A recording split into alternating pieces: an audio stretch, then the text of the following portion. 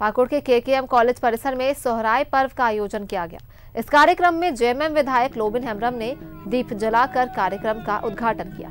कार्यक्रम में विधायक लोबिन हेम्ब्रम ने सोहराय गीत गाया और साथ ही मांदर की थाप पर जमकर झूमे। इस मौके पर लोबिन हेम्ब्रम ने कहा कि सरकार की नीतियों का अनुपालन नहीं हो रहा है। चुनावी घोषणा पत्र में नौकरी का वादा किया गया, लेकिन वास्तव में ठीक उससे उल्टा हो रहा है। इसका जिम्मेवार कौन है? सीएनटी एसपीटी एक्ट का उल्लंघन हो रहा है।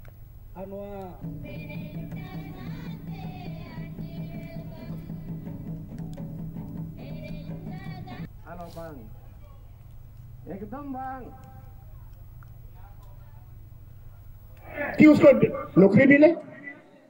आज साढ़े तीन लाख वैकेंसी है सारे डिपार्टमेंट को मिला करके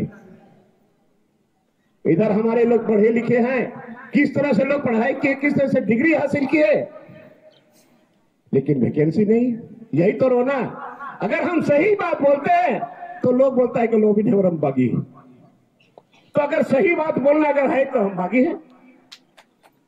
तो मज़ाक बना कर रख दिया। ये सरकार कल्याण हीरोकॉन्ट के लिए है। तो आदिवासियों का कल्याण कैसे होगा? ज़मीन लुटाएगा, नौकरी भी लुटा रहा है। आज तक एक भी वैकेंसी नहीं निकला इस सरकार में। विधानसभा में कहा था, जो वादा किए हो निभाना पड़ेगा। कहा कुछ हो?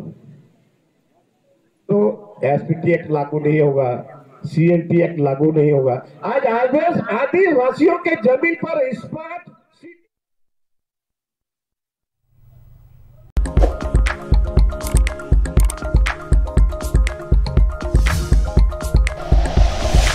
like and share videos, subscribe करें हमारा चैनल और प्रेस करें बेल आइकॉन न्यूज़ 11 भारत सच है तो दिखेगा।